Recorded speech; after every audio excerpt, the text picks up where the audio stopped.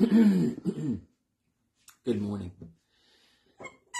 New mercies every morning. Good thing. it's a good thing that they are new every morning. We need mercies every day, don't we? We're going to begin today with I'm but a stranger here, number 748, because Ezekiel uh, has to preach a sermon about being exiles and not being at home, in a sense. 748.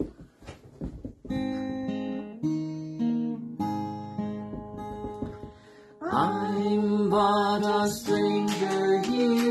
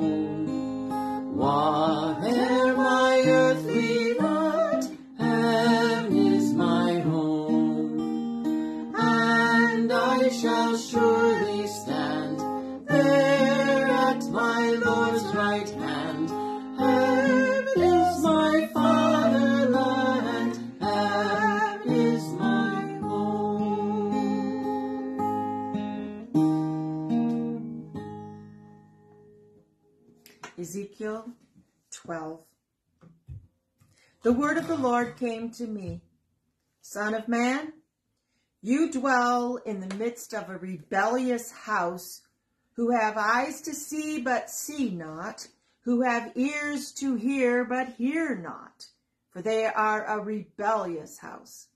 As for you, Son of man, prepare for yourself an exile's baggage and go into exile by day in their sight. You shall go like an exile from your place to another place in their sight. Perhaps they will understand, though they are a rebellious house.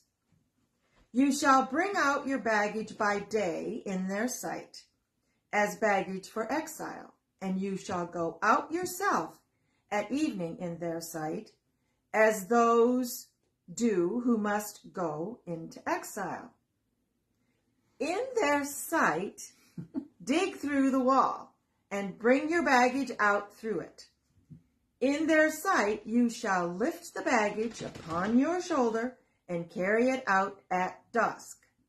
You shall cover your face that you may not see the land, for I have made you a sign for the house of Israel.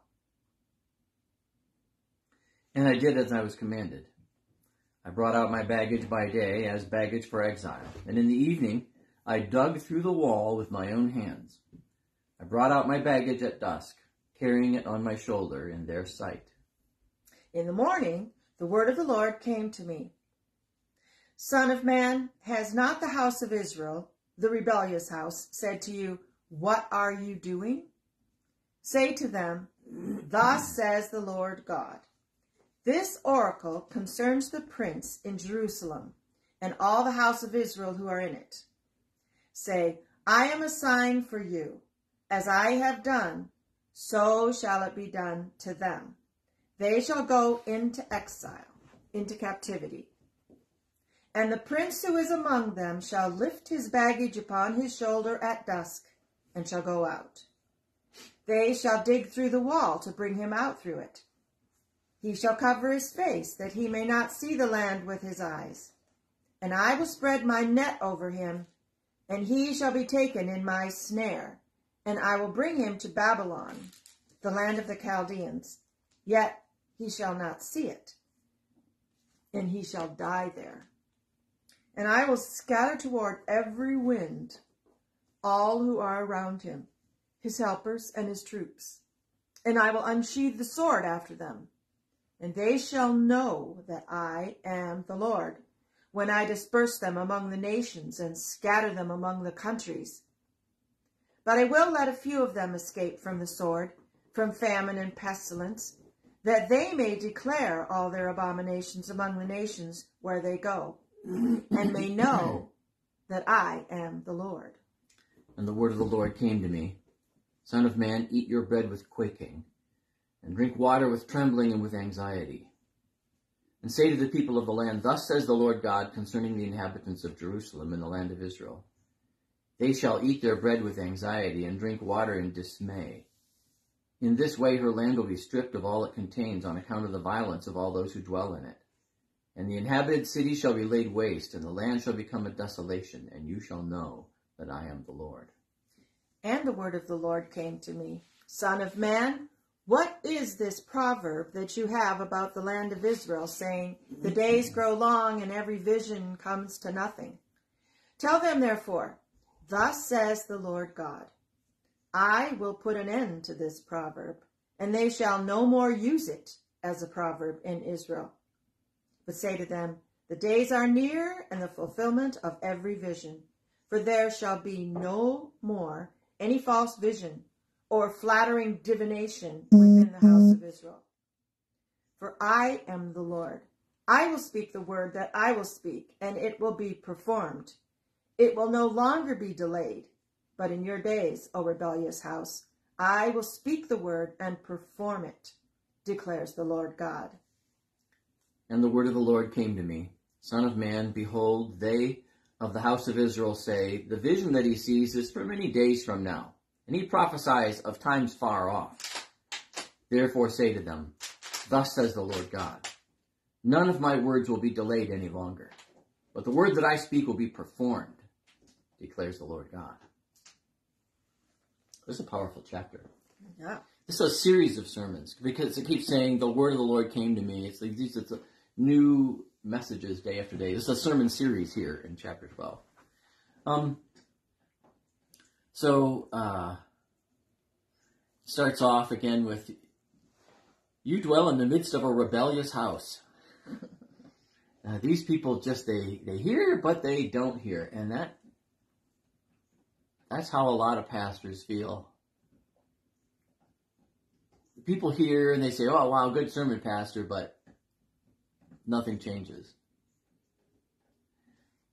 You know, uh, you've seen the billboards for um, from the government about preparedness. Do you know where your family is? Uh, you notice those? Mm-hmm. And you go to the readiness.gov or something like that, or ready.gov, um, and they talk about preparing for a natural disaster. And that could not doesn't mean the nuclear attack or anything necessarily, but uh, um, if there is a chemical spill from a train, that has happened, right? If there is a uh, if there is a terrorist attack, if there is a um, a hurricane, certain parts of the country, everybody has to evacuate all of a sudden. Um, we were evacuated once. We had to. We were ordered to evacuate our apartment, our first year in seminary, because of a flood and uh, very near our apartment on both sides were levees, and the water was just at the top of the levees, and they were afraid that if the levee broke, that uh, it was like up on the sandbags. If the levee broke, then our apartment would very quickly be under uh, six or eight feet of water. So we had to go stay someplace else. So the government says you should have a go bag. You should have a go bag.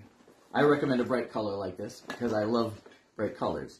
In um, uh, in the go bag, you should have uh, a change of clothes, uh, fresh socks and underwear. You should have uh, a bottle for water, not a glass bottle, something something hard.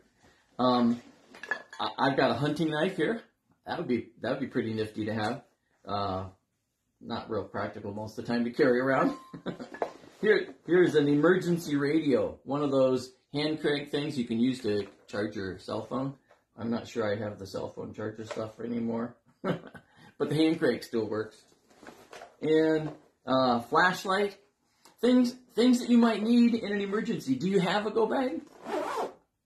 No, He doesn't either. neither do I. I just threw this together for this morning. Yeah, as you can see, I couldn't find our first aid kit. That bodes ill for. uh, you don't have a go bag, and I don't because you don't expect it to happen. Do you? But you know it does. You know that things do that things do happen.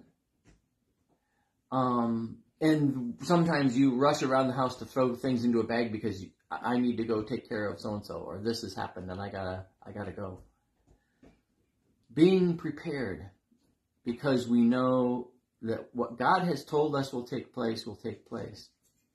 Uh, these people did not believe that this would happen, and so Ezekiel is called not to just be a messenger or to preach a message.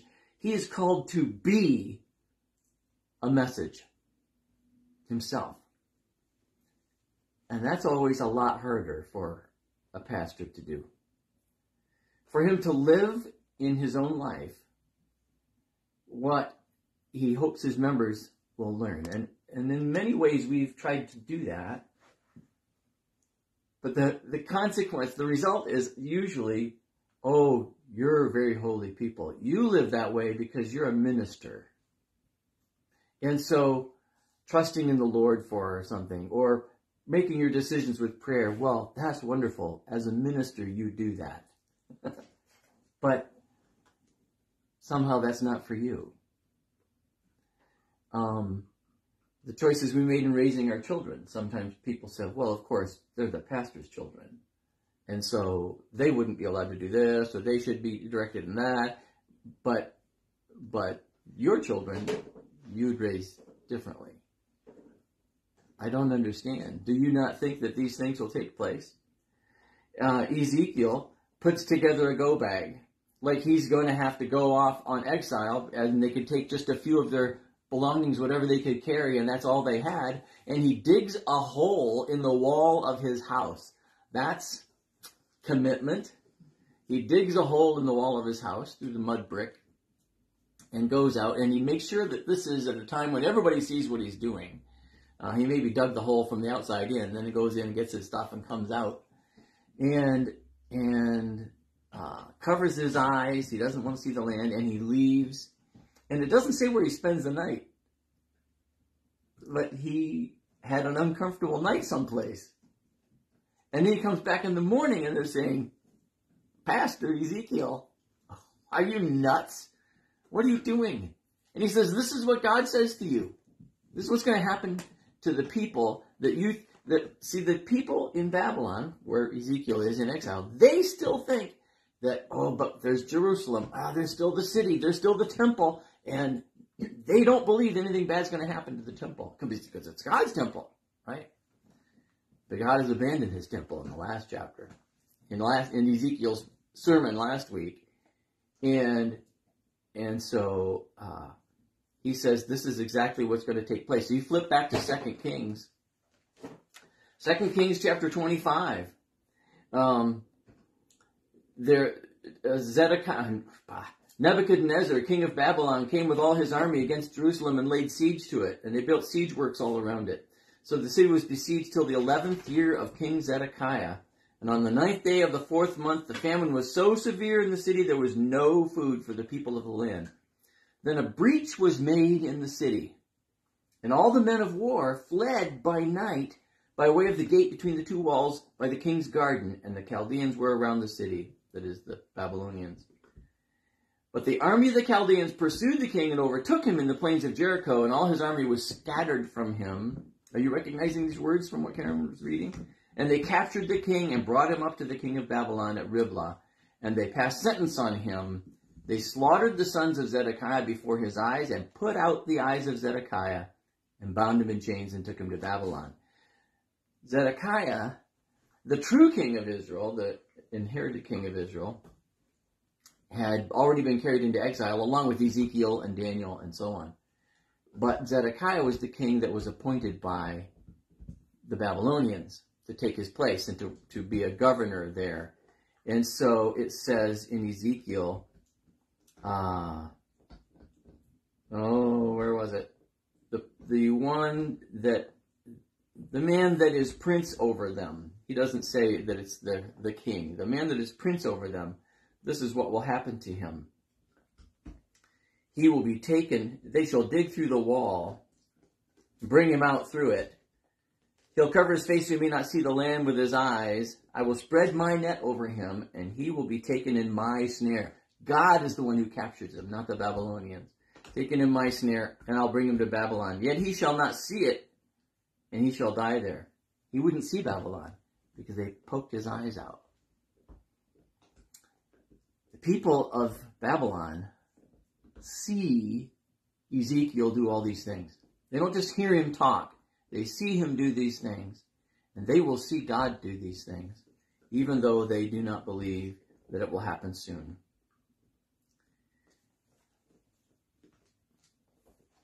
How about you? What do you see God doing? We get so busy, we get so obsessed with little details, and we think it's the world doing this, it's the Chinese doing that, it's, it's the government, it's the Democrats, or it's the Republicans doing this or that. What is God doing? God says it was He who captured Zedekiah and judged him. It was He who was judging Jerusalem and the temple. What is God doing with our world, our nation? Our community, our family, our church. God may lead us through difficult times. And He may desire us to, to take those things that are most important and be prepared to have those, to know what those things are. Not just everything. And what are those things that are most critical in your life? You'd say your family. You can take your family with you all the way to heaven if you share your faith with them. You can you can take God's word with you. If you keep God's word with you, then you have the most important thing you need to see the flashlight, to know like the like the radio, to be sustained with the water of life and the bread of life. How important are these things to you? How prepared are you? Let's pray. Heavenly Father, Everybody listened to Ezekiel's sermon and responded in their own way. Those people back in Jerusalem were unprepared for this siege, for your judgment. It would not end.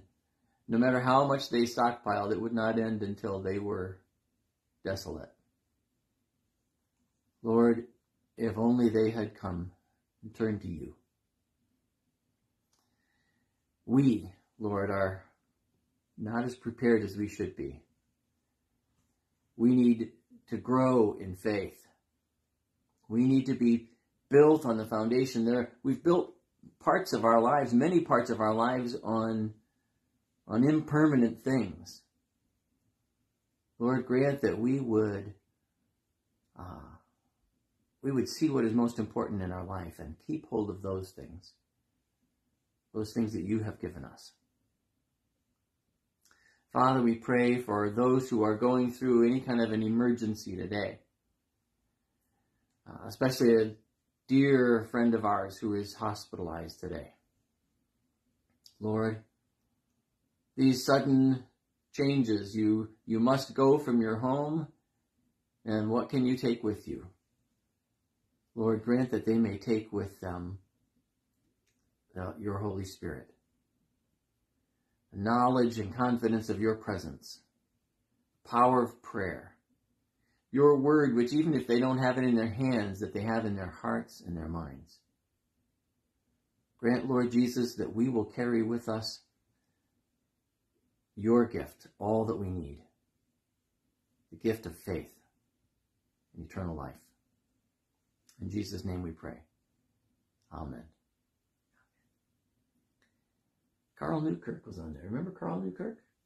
Mhm. Hey, Carl. He was from my dormitory my freshman year. Wow. Mhm. This is an awesome thing to be able to make these connections. So, the Lord be with you.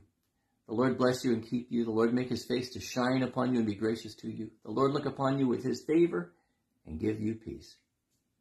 Amen. Amen.